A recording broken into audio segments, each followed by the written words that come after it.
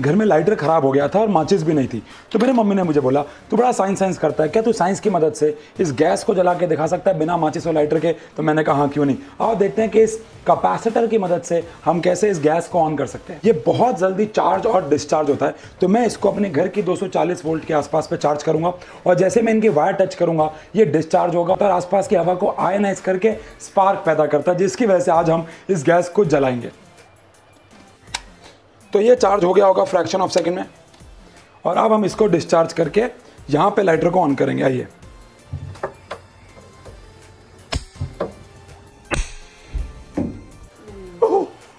तो साइंस की मदद से हमने बिना लाइटर के और माचिस के गैस को जलाया है। बट आप लोग ये घर पे बिल्कुल भी ट्राई मत करना, क्योंकि जो कैपेसिटर है, जब डिस्चार्ज होता है तो हाई वोल्टेज पैदा करता है और बहुत खतरनाक शॉक लग सकता है। ये तो बस आपको समझाने के लिए था। Thank you so much